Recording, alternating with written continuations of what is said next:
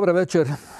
Stanje u Ukrajini nam ne da da ni o čemu drugome e, razgovaramo. Vjerojatno još neko kraće vrijeme, a ako nešto bude od ovih 15 e, točaka oko kojih se sada dogovaraju državni vrhovi Ukrajine i Rusije, onda možda sukobi stane ili rat sukob još neće dugo. Pa ćemo i promijeniti teme ovih emisija. Za sad Ukrajina je još uvijek number one i teško bilo što drugo može doći. Pa svi oni s kojima sam dogovorio emisiju i koji me čekaju, evo neka se strpe još neko vrijeme dok ovaj, ovaj križ svi nosimo. E, neki nam se iz Sjedinjenih američkih država iz Bostona vratio naš poznati osjećanin, moj dragi gost Petar Kuzmić, e, dekan ili još uvijek Evanđelsko visoko učilište ili je, ili je ponovo, nije još fakultet? Vetuje, vetu. Da, dobro večer. E, kako je bilo u SAD-u? Sastali ste se tamo s nekim predstavnicima Rusa i Ukrajinaca, s manjincima, su to bili religijski ljudi ili i politički? I jedni i drugi. Pred sam polazak iz Amerike sam sudjelovao i na jednom bogoslužju, odnosno molitvi interkonfesionalnoj, dakle interdenominacionalnoj molitvi za Ukrajinu na kojoj su govorili dva episkopa, jedan iz grko-katoličke crkve, dakle takozvanih unijata, a drugi pravoslavni. Mhm. Pravoslavna crkva u Sjevernoj Americi je snažno angažirana, dobro informirana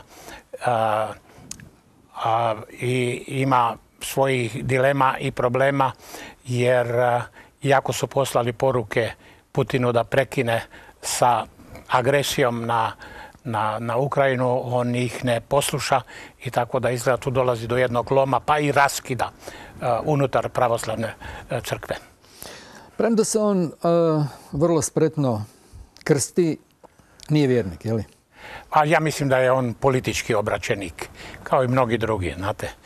Ljudi koji su... Kao i naš Franjo Tuđman. Pa, ne mogu za Franju Tuđmana pa, sigurno nije reći je jer eh, kardinal Kuharić u svojim memoarima govori o tome da se nada da se je stvarno obratio, jer on ga je i krstio i njega i Ankicu. E, ali to, se, to, to krštenje je Tuđman tražio tek kad je već obolio i znao je da se mu život približava kraju. Pa da li je to zbog vjere ili za svaki slučaj, to, to nitko ne zna. Čovjek se prosvjetlio u starim danima. Eto. Ja, ova digresija je bila jedna kratka, nema veze. Uglavnom, neki dan je neko rekao da čovjek koji je bezbožnik, koji je nihilist i ne znam još nešto treće, da, taj, da su to tri velika grijeha koja vode u propast. A za Putina upravo vrijedi sve te tri stvari. E, nihilist je bezbožnik, to mislim da je ono neupitno. S obzirom na to što radi, to ne može raditi Boži čovjek. E, nihilist isto tako da mu je sve ravno praktički, da ima taj svoj jedan cilj kojim je usmjeren i žrtvovat će sve živo pa i vlastitu zemlju i narod da ga ostvari, a on se neće povući. Kako, kako gledate i kako uopće gledaju ljudi s kojima ste se sastali u Americi na rasplet ove krize? Pa, kako gledaju na rasplet? Ne vidi se još uvijek kako će ta stvar se rasplesti. Mhm. Jel? može se dogoditi da će taj rad dugo trajati. Jel? Iako će e, sankcije koštati. To su najstrože sankcije koje su do sada uvedene e, u svijetu protiv e, jedne zemlje i rusko, rusko gospodarstvo će to vrlo brzo osjetiti, a to vidimo i po koliko je rublja njihova... njihova prepolovila se. Prepolovila se, jel? No, Putin je tip čovjeka, mentalni sklop čovjeka koji ne može podnijeti poraz on se je ovdje precijenio i pocijenio je sposobnost Ukrajinaca da se brane. On je računao da će za dva, tri e, dana umarširati u Kijev, zbaciti Zelenskog i njegovu vladu, e, neku marionetsku vladu tamo postaviti i onda otići kući i odmarat. Međutim, to se nije, nije dogodilo ovaj, i rat traje dalje i još će mnogi stradati, ne samo vojska nego i e, civili, a u međuvremenu je već preko 3 milijuna Ukrajinaca otišlo preko granice, najviše u Poljsku, ali i u našem pravcu preko Mađarske pa i Rumunjske. tako da je teško reći koje će tu sve biti posljedice, ali posljedica će biti i za Ukrajinu, ali i za Rusiju. Postoji li strah u SAD-u od mogućeg nuklearnog rata? Pa ja, ja, sam, ja to nisam osjetio. Ja mislim da e, e, američki lideri smatraju da je Putin zapravo blefirao kad je spomenuo e, da stavlja nuklearno naoružanje u pripravnost. Jer svi su svjesni toga da ako se nuklearno aktivira, da, će, da, da je to kraj svijeta ne samo kraj ovaj e, rata u, Ukrajini. Tako da vjerojatno do tog e, sukoba e, na toj razini neće doći. Da, ali, nadajmo se, nadajmo se. Ali malo prije ste rekli da to nije čovjek koji je spreman izgubiti. I ako bude vidio da ne dobiva i da više nema dodatnih snaga kojima može dobiti, a usuđujem se reći da pa... Ne, ne postoji način da on dobije rat. Mislim, kako da dobije rat? Mora bi poubijati tamo više od pola stanovništva iz, e, porušiti sve gradove i opet neće dobiti rat, nego će uništiti Ukrajinu, a, neće dobiti rat opet. Opet je neće pokoriti. pa nemoguće je pokoriti. To, to, on bi, e, to bi ga previše koštalo. Jer, oni misle da smo u Ukrajinice skloni, da, da će ga dočekati. Tu se je strašno prevario. Tu se je mhm. strašno prevario. On nije shvatio koliko je identitet, domoljubni, nacionalni identitet Ukrajine. Posljednje, naročito poslije Majdana. Tako je, tako je. Uspod da kažem, ja sam bio na Majdanu 2014. prisutan. Ja sam u to vrijeme kao predsjednik jedne međunarodne teološke komisije boravio u Ukrajini i otišao sam baš, prijatelji su me poveli na Majdan, tako da sam pratio sve što se tamo događalo. I dakle, bio sam u, u Ukrajini kad su Janukovića zbacili s vlasti. A Majdan je odpočeo, taj veliki protesti e, skup koji je trajao mjesecima, može se reći, je odpočeo kada je Januković, kada je izabran bio za predsjednika, prekinuo ugovore o pripremama za ulazak u Europsku uniju. Mhm. I onda se tek vidjelo koliko je stanovništvo Ukrajine proevropski, a ne proruski orijentirano. Tako da je to zapravo sukob istoka i zapada već od tada, a to je danas još i posebno, posebno vidljivo. I ta nacionalizanost koju ste osjetili tada na Majdanu? To, to, je, to, je, to, je nepokorivo. To je nepokorivo, to je neopisivo. to me je podsjetilo na neke stvari koje su se kod nas događale. Da. Kad je agresor mislio da će vrlo brzo i u Bosni i Hercegovini. Mm jel? Pa nije shvatio da ljudi koji brane svoju domovinu imaju posebnu snagu, čak i ako su slabiji u naoružanju. Ali upravo ta domoljubna svijest im daje posebnu energiju. Netko ko brani svoj dom je mnogo snažniji od onoga koji ga napada. Da, naravno. Bez obzira na omjer snaga tehnologije. Pa gledajte, može se fizički razarati. Mhm ali postoji ljudska svijest i osjećaj lojalnosti prema obitelji i prema domovini koji je izvor velike snage. Gdje je onda ta točka na, kojoj se oni uopće mogu sporazumjeti? Tih 15 točaka nisam vidio što je to. gledajte, Ukrajinci su se već izjasnili da je to neprihvatljivo.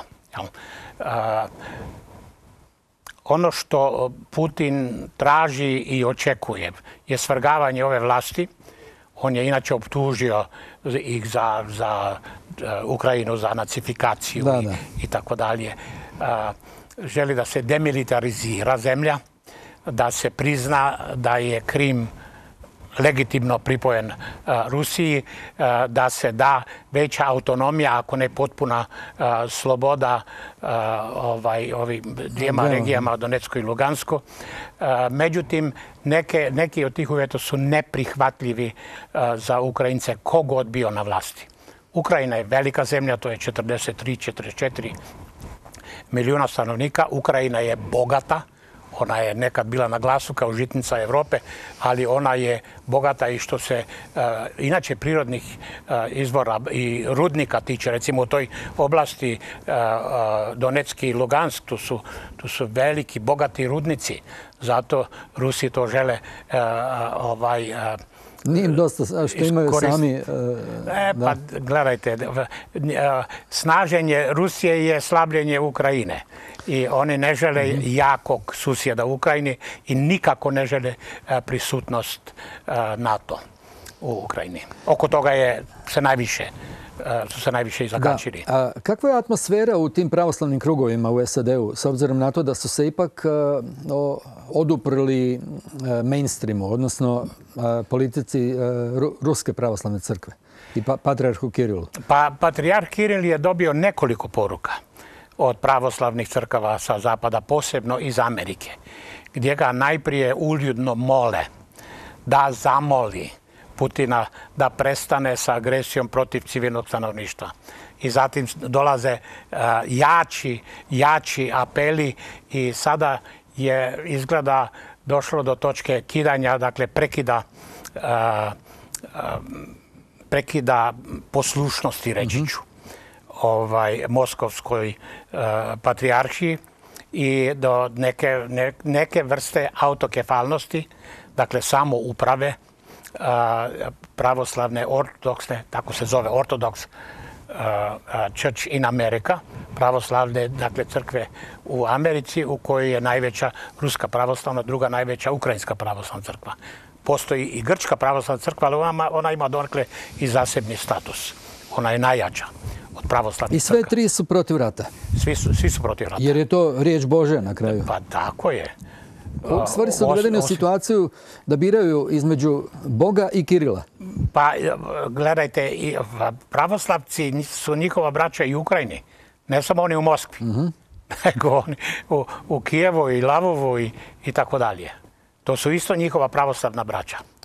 I, i svi I, tu, sad tu sada dola, da, da, dolazi do velike solidarnosti e, sa Ukrajinskom pravoslavnom crkvom. Kako bi to moglo završiti onda uopće po jedinstvu pravoslavaca i po neko vodstvo pa, Ruske pravoslavne crkve? Gledajte, e, jedinstvo pravoslavaca je razbijeno.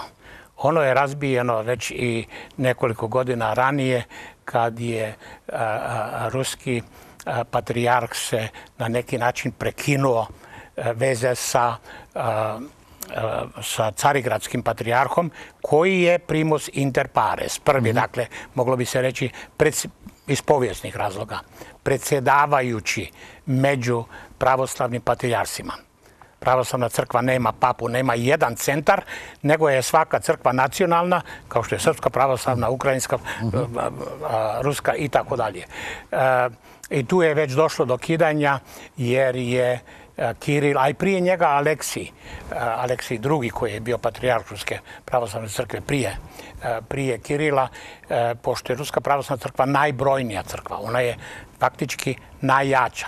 Ona je počela s prezirom se odnositi prema carigradskom patrijarhu koji je tako rekao malte ne zatvoren unutar turskog jednog islamskog ambijenta. Jel? I to su se podijelile. Neke su crkve stale u obranu povijesnog autoriteta ovaj, carigradskog patrijarha, a neke su se svrstale kao, recimo, Srpska pravoslavna crkva je stala na stranu Ruske pravoslavne crkve. Teško će tu doći do nekog pomirenja, iako čujem da je patrijarh Porfirije kojeg osobno dobro znam iz, Zagreba, tu uključen u neku vrstu povjerenja, pardon, povjerenstva koje treba raditi na pomirenju između Carigrada i, i Moskve. Da, on se već, pronašao sam to, više puta izjasnio za prestanak rata. Govori kako ukrajinski mitropolit Onufrije govori protiv rata i za suverenost Ukrajine i zajedno s papom Franjom ponavlja da treba zaustaviti ovo ludilo. Dakle, on je ipak, Porfir je ipak na strani zdravog razuma još pa, Porfirije je e, visoko moralan čovjek. On to i s moralnog gledišta Pitanje je koliko se može oduprijeti snazi autoriteta. Teško, osim toga kako se oduprijeti e, srpskoj javnosti e, i koja je jako proruska. Jeste li vi vidjeli prije neki dan ona, ona, one protestne vožnje po, po, po Beogradu, a, u, pro, proruske, proruski protesti. Pa onda, velike da, da. zastave. Pa onda protiv, Da, onda protiv Ruske. podrška, da, ali ta je bila slabija. Jel? I srpski mediji su više istakli ovu prorusku. Pa A, ekstremiste su uvijek povezaniji ali je vrlo i zanimljivo, organiziraniji. vrlo je zanimljivo, ne znam jeste primijetili da su se tu nosile a, i velike slike generala Mladića. Da, da, da. Mladić uz. Putina. Da, to je Da, da, da. A to je sjajno. Mislim, strašno. točno pokazuju gdje žele To, smjestiti to, Srbiju. to, to je stravično. Ja mislim da će tu srpski intelektualci i ovaj veći dio srpske duhovnosti a, morati a, nastupiti Da. jedinstvenije i snažnije. Ne Opet, mora biti proevropski, ali ne može biti ni otvoreno proruski. Treba opet, ono što... op- a, por- opet mi se javlja digresija jedna, e, kako sad smiješno izgleda ova parola Aleksandra Vučića, predizborna parola gdje on e, nudi stabilnost. Da. Pa e, i Vučić i Dodik su se strašno prevarili kad su svoje poverenje potpuno, ne u potpuno, jer e, Vučić sjedi na dvije stolice. On bi htio u Europu, a podržava Rusiju. A to je nemoguće i tomu Evropa već e, prigovara i vjerojatno je e, pristupanje Evropi sada usporeno za mnoge godine što se, što se Srbije tiče. Dobro, on će sad čekati izbore, ali ne. Mora na izborima ići e, s nekom politikom. Hoće li ona biti proevropska ili proruska, on se tu mora opredijeliti. Teško će moći proći e, kampanju politički neozlijeđen ako se ne bude opredijelio na koju će stranu. Ne može s dva stolca ići na, na Pa izbore. on to pokušava. Ne, mislim da je Da. to... To će- Dobro, vidjet to ćemo, će- bit će zanimljivo pratiti. Ali to djeluje autodestruktivno. Tu može doći do jedne ozbiljnije podjele i unutar srpskog društva. Da, I Porfiri očito nije lako plivati između e, mo- moralnog imperativa i imperativa Da. e, svog pretpostavljenog u Rusiji. I, i, I ne samo Autoriteta. to, nego unutar episkopata u samoj Srpskoj pravoslavnoj crkvi. Ima još uvijek jastrebova a, koji, koji ga ne podržavaju. E, Naravno. Porfirije je jedan vrlo plemenit čovjek, jedne moralne vizije i on uvijek želi dobro. Ja sam ga dugo pratio a, i on, njegov je naglasak na općem dobro. I šta koristi čovjeku. I malom čovjeku. Onda tu nema dvojbe. Da. Pa tu je on e, vjerojatno rastrgan u svojoj, između svoje savjesti i Da, Kiril njemu nije formalno nadređen, ali mu je ipak autoritet. E, molim me- vas. Međutim, kako je pravoslavna crkva uvijek oslonjena na vođu države, nekada na cara, sada na predsjednike, Da, da, bizantski onaj Da, pristup, da. a kako je Vučić, se to zvalo. Kako je Vu- Vučić prilično ovaj, oslonjen na Putina, onda i s te strane Porfirije mora ba balansirati što će reći kako se ne bi suprotstavio svom nacionalnom Da. predsjedniku i, i mislim da je, Pa zato da je mnogi, tu- mnogi Porfirijevi govori zvuče kako ću to reći, odviše duhovno, jer Mhm. su distancirani od, eh, od političkih aplikacija. Jel? A on ne, a on ne može drugačije. Jel? Mhm. E sad vidjet ćemo šta će ovi izbori, iako ja mislim da će Vučić izbore dobiti ili pokrasti, jel? A, jer nema, nije, nije opozicija dovoljno jaka, niti dovoljno jedinstvena. Iako bi Srbiji jako dobro došla promjena. Pa da, čini mi se da je on nema snage opredijeliti se. On je svjestan da e- Evropska unija nudi puno više, ali vjerojatno se boji odreći Rusije jer bi onda navukao na vrat mnoge interesne moćnike koji, Da, koji des- zbog svojih interesa mu to ne bi oprostili. Da, i sve desničarske krugove. Mm, A i zna kako su prolazili njegovi prethodnici koji su se za- za- zamirili toj desnici. jel? Da, da. Nisu dugo trajali. Nisu dugo trajali, da. Da. E, zanimljiva je ova ono, ona poruka ministra vanjskih poslova Lavrova e, Miloradu Dodiku da se sjeti dogovora s Putinom. Nismo vidjeli da je išta na tom planu napravljeno otad. Očito je Dodik dobio upozorenja s druge strane, što usmena, a što praktična ovim e, dovođenjem teške mehanizacije, teške vojne mehanizacije da u Bosni i U Hercegovini. Bosnu i Hercegovinu, da. Pa čak i njegov prijatelj Čović mu je rekao da se pridruži izglasavanju proračuna i interesima, državnim interesima BiH. To je vrlo zanimljiva, neprincipijalna koalicija HDZ-a, Bosna i Hercegovina, dakle Čovića i ovaj, Dodika. Da. A neki principi se ipak poštuju. Ne oni koji, koji bi bili moralni, ali neki principi se poštuju. Financijski, recimo. Da. Interesi. To su interesi, više interesi nego principi. Što, što, bi, što bi tu bila bio dogovor? Kako, kako ste se to protumačili? Dogovor između Putina i Dodika. Što je, što je tu pa, Dodik pa, Gledajte, e, Putin je očito u Bosni e, stao na stranu Republike Srpske, a to je dio njegove strategije e, podrške e, Vučiću i dakle e, samoj Srbiji. To je neka vrsta pokušaja dok sve pravoslavnog svijeta, slavenskog pravoslavnog svijeta, tako ću mhm. reći, da se, da, se, da se ujedini i zajednički nastupa u odnosu prema zapadu. A retorika ide i na to da je Zapad moralno krahirao.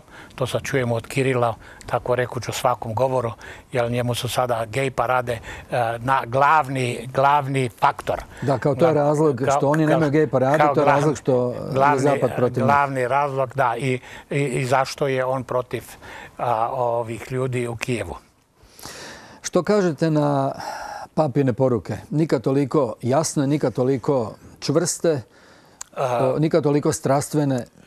Iznenadila me je posebice ova poruka u nedjelju, jer doista što kažete, ona je strastvena, to je taj passion.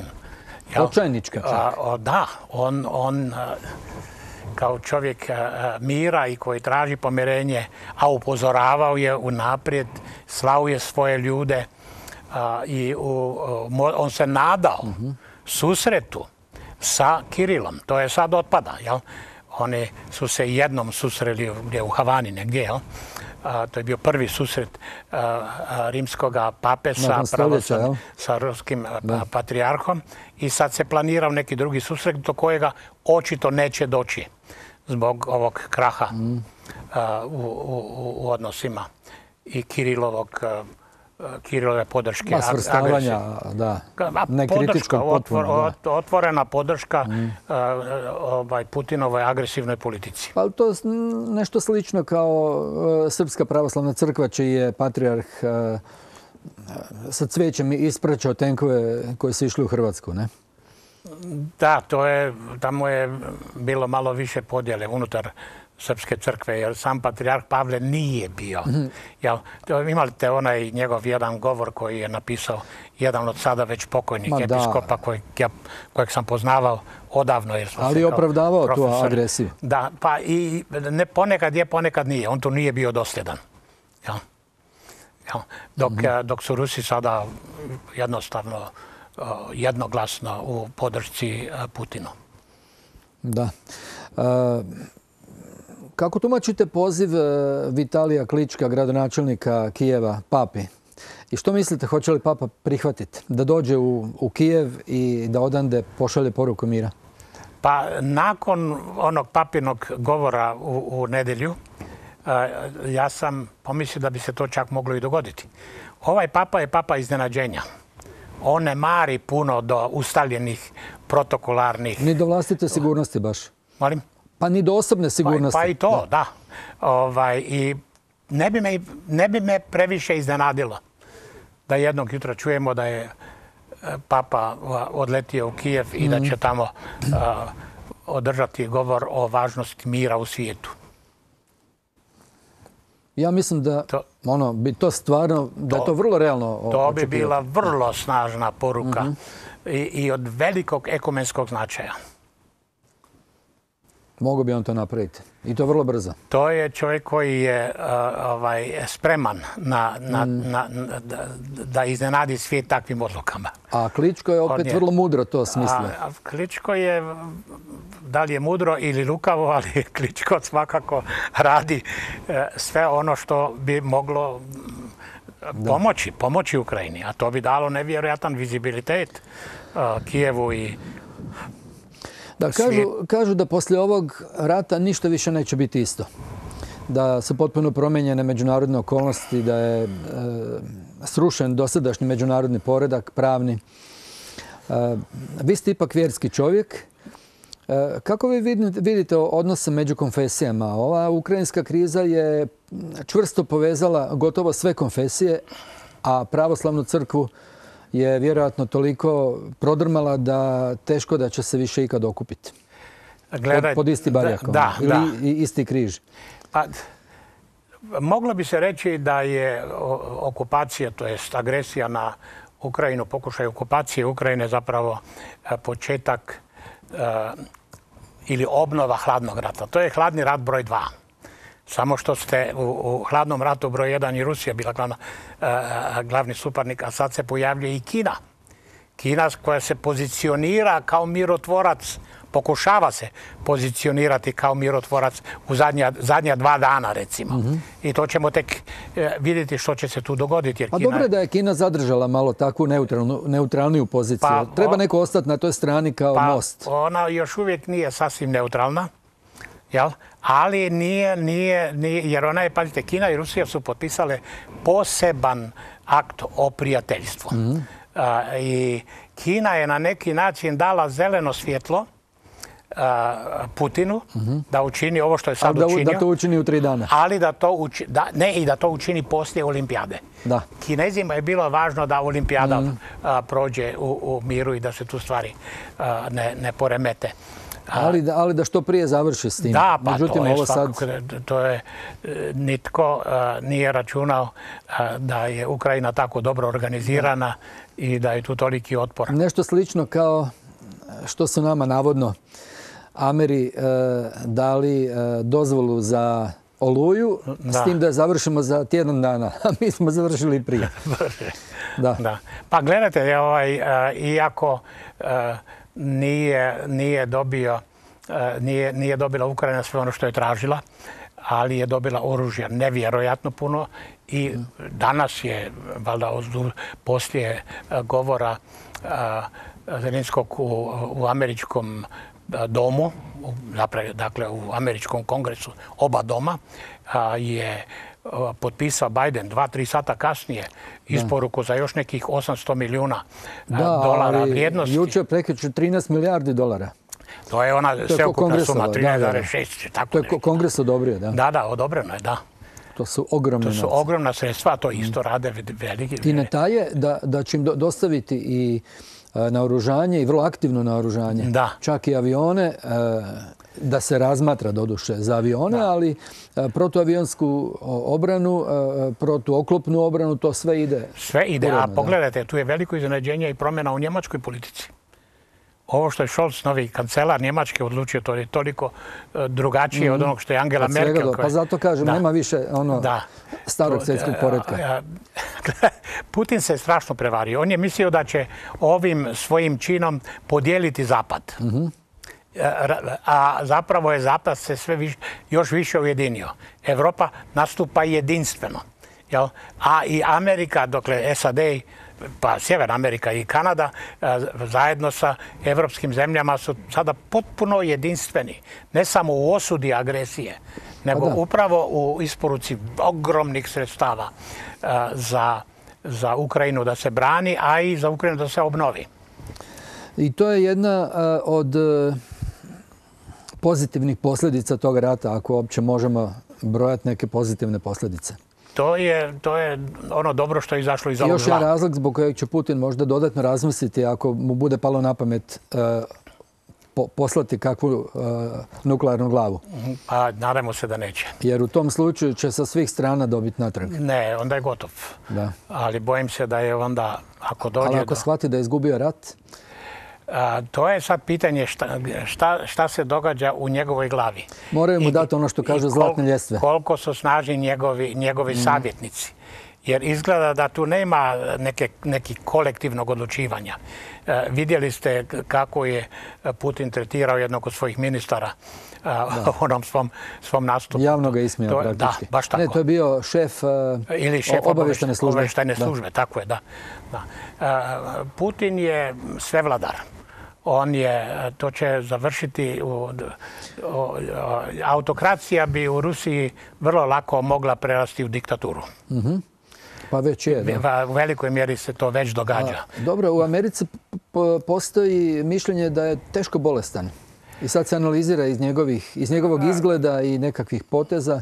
I, da, ali tu, su, tu, se, tu se mišljenja razlikuju. Ja sam čitao analize o tome, ali analize koje kažu da on nije bolestan, on je samo izuzetno gnjevan i osvetnički raspoložen, a, a ne bolestan. Mhm. Ali ako on ne može izgubiti rat, a ovaj će izgubiti, pitanje je šta će onda nastati od Rusije. Dobro, pojavila su se i, i neka proruska tumačenja, recimo tako i u nas. Recimo, profesor Slavko Kulić je u intervju Novom listu, čini mi se. Da, da, u Novom listu. Da. Iznio jedno, dobro, on je uvijek profesionalni anti, kontraš. Anti, kontraš ili antiprotivan, kako, ovaj, kako se ljudi zafrkavaju. Pa je nastojao pro, pojasniti e, hrvatskom čitateljstvu kako nije baš to istina kako to mi tumačimo i kako to smatra mainstream, nego da je Zapad e, snosi veću odgovornost za taj rat jer su bacili oko na ruske zalihe e, nafte, zemnog plina, plemenitih metala, drugih korisnih rijetkih metala i tako dalje. I da je to u stvari u korijenu ovoga sukoba i da je to Putin prepoznao i išao spriječiti na vrijeme. Jer dolazak NATO-a na ruske granice u Ukrajinu de facto bi bio prvi korak u nekakvom komadanju Rusije, grickanju Rusije, kako bi se Zapad pod vodstvom SAD-a domogao svih tih rudnih bogatstava Rusije, da je Putin to išao spriječiti na ovaj način i zato Kulić optužuje Zapad kao glavnog krivca za ovaj rat, a da je Putin bio jednostavno u iznudici da nije mogao drugo nego napasti. mislim da tu ima pretjerivanja. Zapad je kriv uzročno u tome što nije iskoristio u ono vrijeme nakon Putinovog dolaska na vlast kad je Putin bio relativno otvoren i tu su se mogli, mogle neke stvari dogovoriti i drugačije, e, drugačije e, definirati. Ali evo, naročito nakon Majdana 2014. kad je Putin shvatio da zapadnjaci na čelu s Amerikancima ulaze, ulaze ili dolaze na same granice i da mu se NATO približava, on je onda, evo, preventivno, ovo je navodno preventivni rat da, da. da se spriječi dolazak da, Kao što se nas e, Srbi napali preventivno da ne bi da. Uh, Ustaše opet zavladale Da, ima, ima tu neke sličnosti. Da. Ali evo i sam Putin kaže da će Zapad pokušati ugroziti teritorijalni integritet Rusije, a da nećemo dozvoliti, kaže, da Ukrajina postane odskočna daska za prijetnje Rusiji. Zapad gura kijevske vlasti u krvoproliće tako što ih obskrbljuje oružjem i plaćenicama. Valjda bi ih trebalo ostaviti bez ičega da ih, da, ih ovi demilitariziraju. Da, Na, na, početku vojne operacije od vlasti u Kijevu tražili smo da povuku trupe iz Donbasa. Nisu htjeli, ovo je njihova odluka. Dakle, sad Putin optužuje njih da su isprovocirali rat time što se nisu htjeli povući iz Donbasa. Kao da Donbas ne pripada Ukrajini. Pa gledajte, to je Putinov, Putinov izgovor za ovu sveobuhvatnu ovaj, agresiju. Pitanje Donbasa se moglo drugačije riješiti na jednoj međunarodnoj konferenciji. Činjenica da su to dvije već autonomne pokrajine, da, da ih tako nazovemo, ali kad, ih je, kad je Putin sada najprije ušao tamo i proglasio ih državama, priznao ih je kao neovisne države, jel? čak i da se tu stalo, Međutim, on je odmah išao dalje osvajati Ukrajinu. Čim je on to priznao, bilo je jasno da će, onda to, da. će tu neovisnosti braniti svim sredstvima. To uopće nije bilo upitno više. Da, ali on e, nije na tome stao. Da, pa to je bio poziv na rad de facto. Kad je on rekao da priznaje njihovu neovisnost, to je automatski značilo da će ih onda braniti oružjem. Da. Ali nije stao samo na njihovim granicama. nego je, da, on je išao dalje u agresiju. I koliko mislite da su opazna ona upozorenja posebno ukrajinskog predsjednika Zelenskog da se neće zaustaviti na Ukrajini ako je i pokori, a ako je pokori da će ići dalje. Dobro, on to malo pretjeruje vjerojatno. Zelenski to iz svojih nekih strateško-taktičkih razloga ovaj, tako oštro postavlja i tu ima pretjerivanja da bi se nekako trgnuli zapadnjaci mhm. i rekli ne možemo dozvoliti sada Putinu da dođe na naše granice. Jel? Ako on nama ne da na njihove. Vjerojatno će na kraju biti tu neki dogovor da Ukrajina bude neutralna zemlja poput jedne Austrije, Švicarske, ne znam, Finske recimo. Finske, da, ali to neutralnost mora neko braniti. Pa može se takav e, dogovor napraviti. Evo, Finsku. Ko, brani Finsku? Pa dobro, niko je ni ne napada. Da, a niko je ne napada. Ali Vidjeli bi ko bi je branio da je ovaj, napadne. Da, Pa vjerojatno bi NATO zemlje, tu postoje neki ugovori, dogovori, da. Ne znam, ali e, da, da vidimo šta još, šta sam si još zabilježio. Uh, Ove, ova, ovaj dron koji je sad pao u Zagrebu, vidjeli ste to. E, još uvijek se ne, ne zna jesu li ga poslali Ukrajinci ili Rusi. Da. Naime, navodno je I, da li došao, je to, da li je to bilo... Navodno je došao iz jedne baze, vojne baze, pored Hersona na jugu zemlje, gdje je e, satelit Planet Labs e, snimio jednu vrlo oštru fotografiju na kojoj su u toj bazi e, vidljiva tri takva drona. Tog tipa kakav je pao kod nas. I vrlo je moguće da upravo iz te baze doletio. A ta baza je prvo bila naravno u rukama Ukrajine, onda su Rusi osvojili. Rusi su osvojili. A e, onda su Ukrajinci to nešto razarali, pa nešto kao vratili. Tako da se ne zna u stvari u trenutku poleta koji tog drona. A mislim da cilj nije bila Hrvatska. A kako je došla? Ona ima koordinate po kojima se vodi. Pa, gledajte, tu je došlo do nekog tehničke, tehničke greške. Navodno to postoji neko mjesto u Hrvatskoj koje ima isto ime kao i određeno mjesto na koje se napada unutar Ukrajine. Ali ne znam. Jednostavno o tome ne mogu. Pa ne mogu se ni stručnjaci složiti. Da. Sva sreća, sva sreća da nije pala na zgradu. Da, ali ono što je zabrinjavajuće da je NATO kišobran se pokazao prilično poraznim. To je užas. To je strašno. Da je, taj, da, da je mogao preleteti cijelu, tako rekuć, Mađarsku i da, i da to uh, Mađari nisu srušili, to je strašno porazno. Ja, onda je, da je pao na, na krov neke zgrade, on, bi, on bi stigao do, da, bi, do podruma. Bilo bi mrtvaca na... I šta bi tad bilo? Opet ne bi NATO zaključio da je to napad. Ne, nego bi rekao da je to slučajno doletjelo, da to nema tu namjere napada, ali ne bi se uvukli. A NATO će se morati jače postaviti. Gledajte, jedan od prigovora, kad ste me, na početku ste me pitali o, tome e, kako Amerikanci na sve to gledaju. Postoje unutar Amerike kritike na Bidenov račun. Da nije dovoljno odlučan. Da mu treba vremena, da odvagne ovo, ono, da, da, da, da previše računa i da treba brže odlučivati. Jel?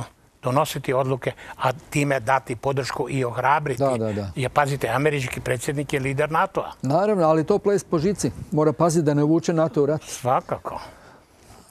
Zelenski to zna kad poziva NATO da eh, i svijet da uspostavi zabranu letenja iznad Ukrajine. Jer ta zabrana letenja se mora ne, nekom silom jamčiti. Da, da, da. I to bi mogli... A jamstvo silom bi značilo ulazak u rat. Avijacija NATO-a i to bi došlo do sukoba. Stvarno, I Zelenski zna da oni neće, ali svejedno ih zove. Dobro, on provocira da. na taj način ih poziva na odgovornost i ukazuje koliko je njegova zemlja ugrožena. Dakle, on traže nemoguće da dobije moguće. Tako je. A moguće su uh, ratna... Uh, Proturaketne... Ovaj... Oruđa, oružja, streljiva i to sve. Da, da. I to stvarno stiže u velikim količinama. U velikim količinama, Zbog toga je Putin možda i svjestan. Pa ja mislim da je on svjestan toga. On, on, je, on je Putin je vjerojatno u depresiji jer nije uspio ostvariti svoj cilj unutar mhm. nekoliko dana kako je planirao i nije ga, nitko mu nije izrazio dobrodošlicu, što smo ranije rekli, koji je očekivao, tako da će se morati vrlo ozbiljno reorijentirati, prestrukturirati. A sada kako se povući s obzirom na ponos vlastite, vlastitog ega i vlastite zemlje? Da. Dobro, imali ste puno ukrajinskih studenata na Da, ja sam imao fakultetu i Ako računamo i ovdje smo i neke sam imao i na postdiplomskom studiju u Bostonu. Više od 50 e, bivših studenata imam u Ukrajini. Obitelji, neke od, njih, neke od njih smo spasili, neke smo smjestili kod naših prijatelja u Poljskoj. Ja sam ovih dana, ne ovih dana, već od 25. 24. E, veljače mhm. e, ovaj, stalno u kontaktu i imamo škole i suradnike u Poljskoj koji su primili mnoge. Neki su i stigli do ovdje, neke smo otpremili dalje prema, prema Dalmaciji gdje imaju poznanstva. Jel da, jer to nije klasičan fakultet u kojem studenti kad završe odu i prekinu praktički veze s fakultetom. Vi pa- ostajete u veze sa, pa svojim bivšim normalno imamo neki svoj alumni ovaj, komunikaciju. Mhm. Posebno ako su pastori i još tako ako su je, aktivni Postoji ta neka duhovna veza. Ti, ti ljudi jedni za druge i mole. Mole se Bogu. Mi molimo svaki dan za Ukrajinu, za, za crkve. Jedan od naših poznatijih ukrajinskih lidera koji je bio naš student nam javlja ovih dana. Kaže, obitelj sam otpremio u Poljsku ja ostajem ovdje i po podrumima, služim, blagosiljam, molim, hrabrim, ispovjedam ljude koji su ostali, koji nemaju kamo otići. A dobro, ima njih još vjerojatno. Ima ih, to je, To je proces koji će duže trajati. To će trajati, da, da.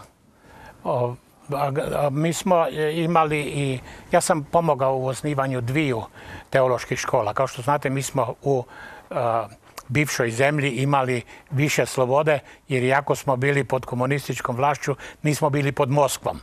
Mhm. Ipak su naše granice bile otvorene, dolazilo se k nama i mi smo odlazili van, kao što sam ja osobno otišao van studirati, studirati teologiju. Ovaj, I tako su onda kod nas dolazili i ti studenti koji nisu mogli ići na zapad, mhm. ali su mogli u socijalističku Hrvatsku. I tijekom godina mi smo tu imali e, veliki broj studenata i neki su na vrlo utjecajnim mjestima i u Ukrajini i u Rusiji i nekoliko njih i u Bjelorusiji. Ja sad pokušavam e, i u vezi sam i s jednima i s drugima im reći vi trebate neki zajednički moralni stav imati protiv ubijanja civila, protiv okupacije tuđeg teritorija i mhm. tako dalje jer neki od njih su se svrstali u svoje vlasti i u Rusiji, jel, nažalost. Jel. I kad razgovaraju s vama, jel, vidite li taj e, pa, sukob unutarnji? Da, da, to, su, to, su, to je, to, to je, e, neki od njih se lome u sebi jer znaju da Putin nije u pravu, a znaju da nemaju slobode da javno nastupe i to kažu jer se sada po, Putin je donio zakon od 3 do 15 godina možete da, dobiti. Da, vidite, to nije spriječilo ovu televizijsku urednicu da... A to je bio izuzetno hrabar, hrabar iskorak. Međuvremeno čujem da je ona proglašena ludom. što, je, što je u Rusiji u bivšem Sovjetskom da, pa savezu super, ono. se događalo. To, su, to su radili sa nekim vjernicima koji nisu, normalna koji nisu htjeli odustati od svoje mm. vjere, onda ih str, e, strpaju u umobolnicu. Da, da. Kako je to rekao ovaj poljski aforističar e, Stanislav Jeržilec. Da. Kaže, ako ste puno ispred svog vremena, onda ga često morate čekati u ne baš ugodnim prostorijama. Ne baš ugodnim mjestima, da. da Tako ona ispred svog vremena pa luda. Da, da. Ali sjajna je. Da. Ali, vidite, pa, ali Putin je zatvorio ovaj, sve neovisne medije. To je, tu je uvedena nevjerojatna cenzura. A nek desetak tisuća ljudi je zatvorio pa koji su prosvjedovali. Pa zatvorio mnoge ljude koji su prosvjedovali. Ali mogli bi se ovi e, pastori ugledati recimo na njezinu građansku hrabrost pa možda istupiti neko. A ako se neko lomi, pa, ona, ona sigurno može biti svijetao primjer. Gledajte, jedno pismo jednog ukrajinskog lidera kršćanskog, mog prijatelja Dijatluka, Rusima, svojim kolegama u Moskvi je bilo pitanje a gdje su vaši Bonhoefferi? mm Bonhoeffer je poznati kršćanski teolog koji je inače bio pacifist. A na kraju je završio u zatvoru i onda je izgubio život 5-6 dana prije nego što su stigli uh, saveznici uh, je on, uh, ja mislim da je obješen, jel? ali jedan veliki mislilac koji se uključio u urotu protiv Hitlera. Jel?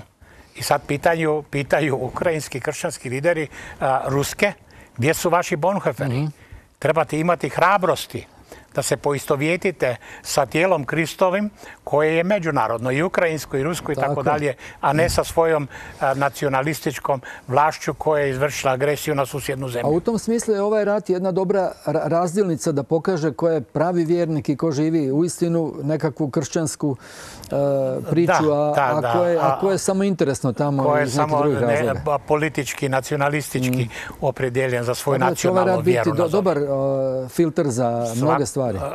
Rat e, mnogo toga napročistiti. Da. Jer ljudi moraju onda dobro zaviriti u svoju savjest i vidjeti da li mogu smognuti e, snage da se suprotstave onima koji e, gaze ljudska prava i vrše nasilje. A kako žive pripadnici vaše konfesije u Bjelorusiji, recimo? I što oni misle o predsjedniku Lukašenku koji se sad pokazao kao najobičnija marion... Mislim sad, pokazao se davno, ali sad je to potvrđeno onim glumljenim sastankom s Putinom? jedan, jedan od lidera bjeloruskih mi je nedavno poslao kratku poruku na slično pitanje koje sam postavio. Jel, kaže, e, mi se za sada pridržavamo Rimljanima 13. E sad, šta je taj Rimljanima 13? Rimljanima je poslanica, Mhm. jedna od najvažnijih poslanica apostola Pavla, koja je kanonski u Novome Zavjetu, a u 13. poglavlju e, kaže da trebaju biti poslušni vlastima. I kaže, mi smo poslušni vlastima. Ali tu se onda stalno postavlja i pitanje, jer postoji i otkrivenje 13, gdje je otpor vlastima. Jel? Pitanje savjesti je to. E, I razlikuju se. Neki su otvoreno protiv E, svojih bjeloruskih e, vlasti. Osim toga svjesni su svi da je on na posljednjim izborima nije pobjedio, nego je to sve izmanipulirano i pokradeno. Jel? I e, jedva čekaju da on ode. A, da, tu kad A drugi, su, drugi su jednostavno pritajili, čekaju da dođe do promjene. Kad poslije to pravilo vjernosti vlastima, onda se smatra da su vlasti odraz volje naroda. Da, da, ali u ali onom slučaju znaju da, ne, nije, ne, ali da ne, to nije ono vrijeme kad je to pisano nisu bile. Da, vlasti su bile rimske. Te su vlasti progonile kršćane. One su bile antikršćanske. A ko je onda bio vjeran vlastima? Koja... Pa to, tu se ide na, na određenu vrstu pragmatizma. Jel? Da. vi, ovaj, Ili konformizma možda, da. da. Gledajte, vi se možete, vi možete na tri načina reagirati kad se nalazite u, nazovimo, neprijateljskom okruženju totalitarna vlast i ne mm. znam što. Ili kao što smo mi nekad unutar komunizma tražili modus vivendi kako da e, preživimo i živimo. Jel, moj je duhovni otac tri i po godine bio u zatvoru zbog evanđelja e, i bilo je progonstvo i e, kod nas sve dok je Ranković bio na vlasti, sjećam se do ovaj, naročito tamo početkom 50. godina kad je on bio na čelu bala te službe bezbjednosti su to mhm. zvali. Jel?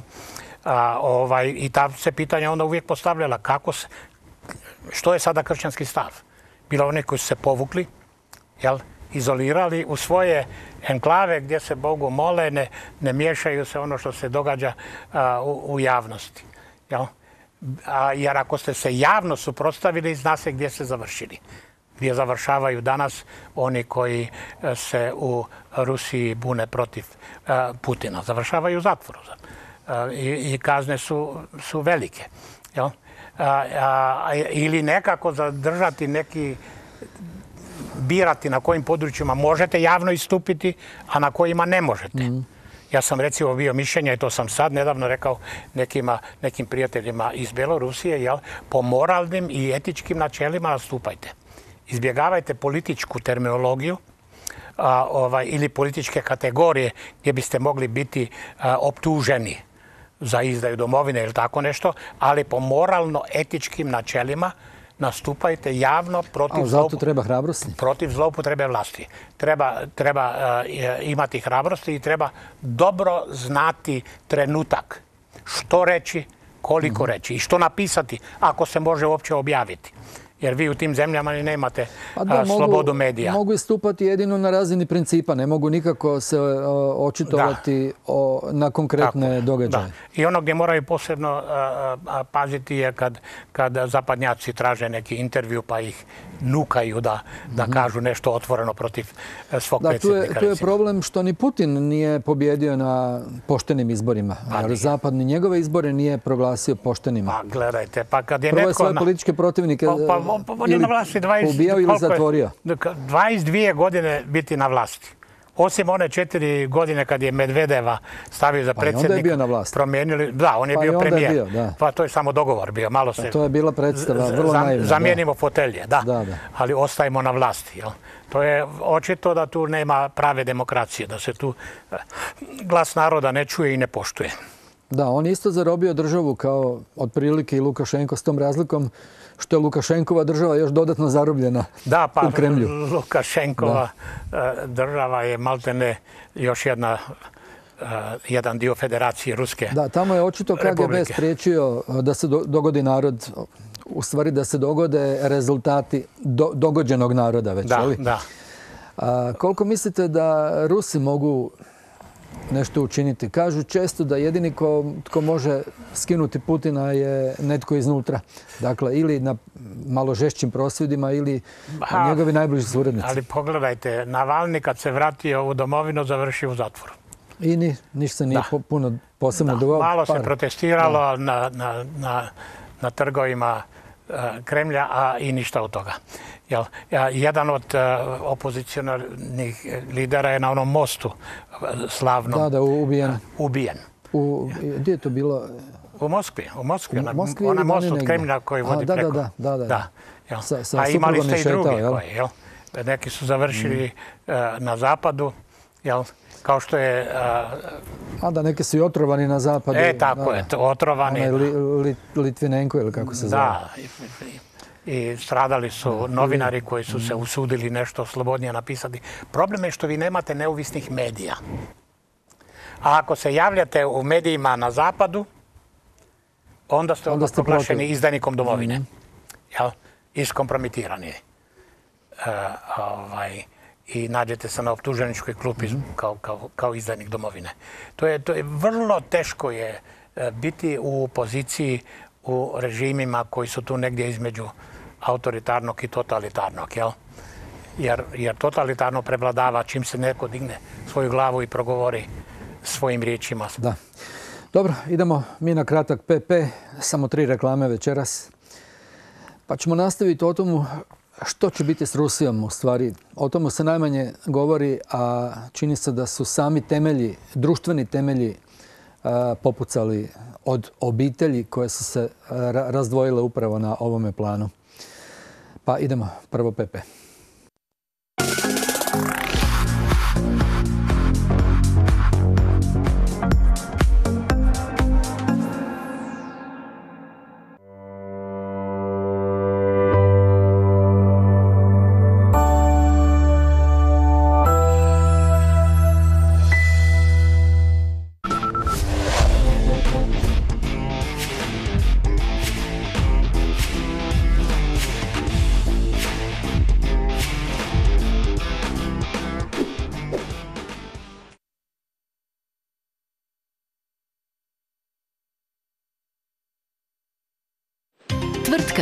Je vodeći proizvođač snek proizvoda u Hrvatskoj. Proizvodni program čine krumpirov čips, stiksi, razne vrste flipsa, kokice i peleti. Respektabilan proizvodni proces, kvalitetni proizvodi i povoljne cijene rezultat su vodeće pozicije u proizvodnji čipsa i flipsa na hrvatskom tržištu. Vaš Kanan.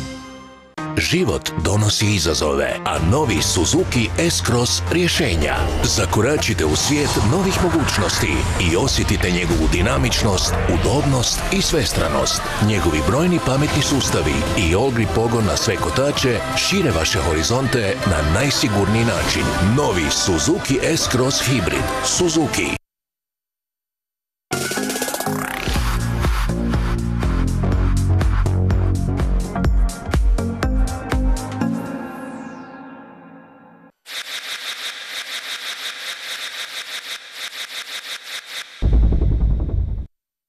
Dobro, dakle, mnogi ne govore o posljedicama i vjerojatno i sam Putin o tome najmanje razmišlja ovoga trena jer mu je očito vlastita egzistencija i politička karijera važnija, ali ovaj rat ima užasno teške posljedice po samo društvo rusko.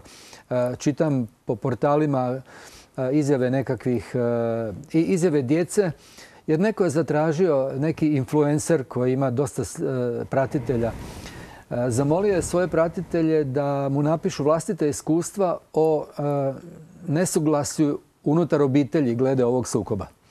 Pa je dobio puno zanimljivih izjava, priča, povjeravanja i tako gdje, gdje se, iz čeg se u stvari vidi da su se same obitelji raspale, da neka djeca kažu da više nikad neće sa svojim roditeljima ni kavu popiti. Toliko im ne vjeruju e, kada kažu šta se u Ukrajini događa, nego to tumače e, propagandom i da je to sve gluma i izmišljotina. Dakle, toliko se potpali pod ne znam jeste vidjeli izjavu od žene sa djetetom e, koja je poslala sliku iz Ukrajine u Rusiju i kaže mhm. nemamo mlijeka, nemamo hrane, stradavamo i ovaj sestri svojoj u samu Rusiju. Da, da, jedna od priča je ta. Da, da, i ova kaže, ma to je sve fašistička propaganda ili tako da, nešto. Da, da.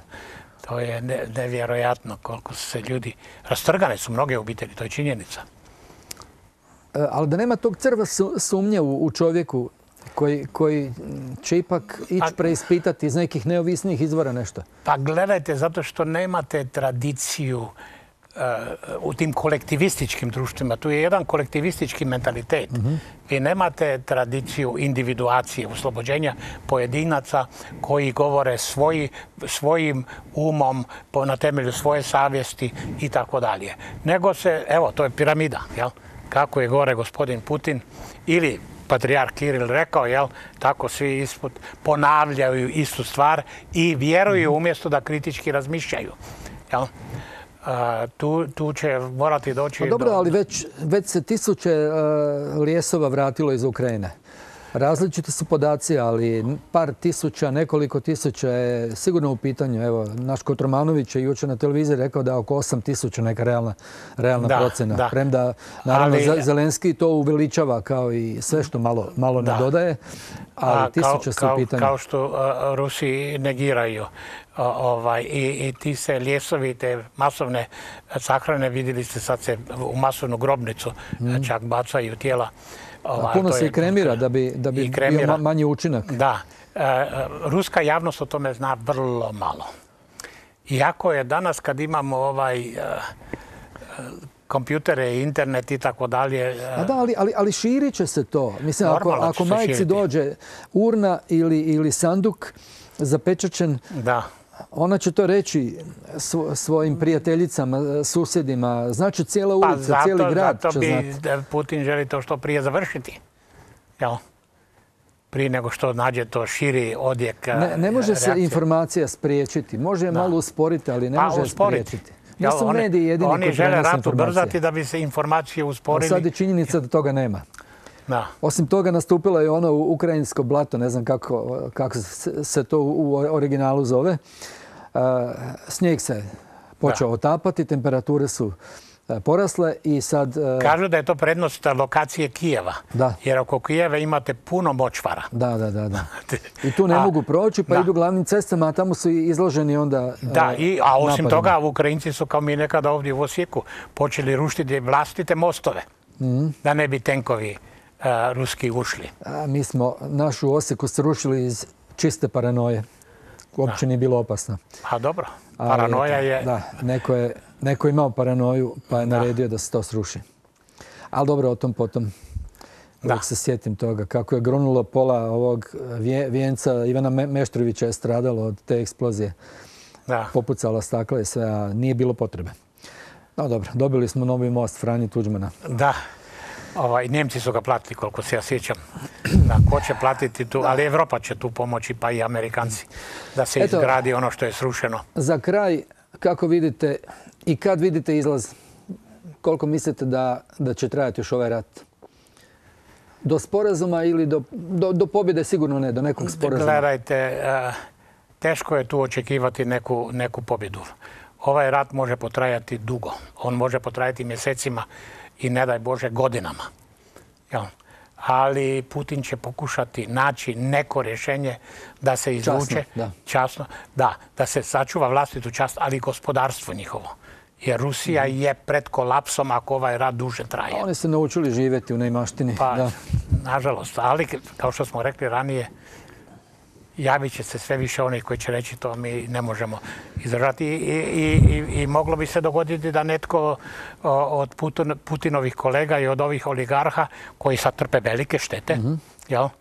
Čujem da i ove e, jahte u, u Jadranu e, Da, blokirane su, ne- da. da su blokirane, da ne mogu isploviti. Dakle, tu imate te oligarhe, možda će netko od njih organizirati i reći pa Putina moramo maknuti. Da, dolazimo pritisci sa svih strana. Da.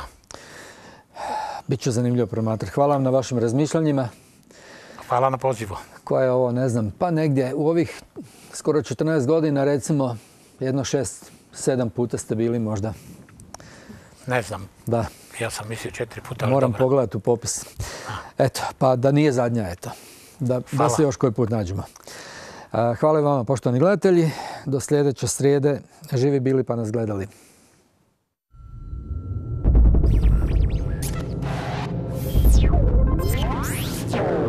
you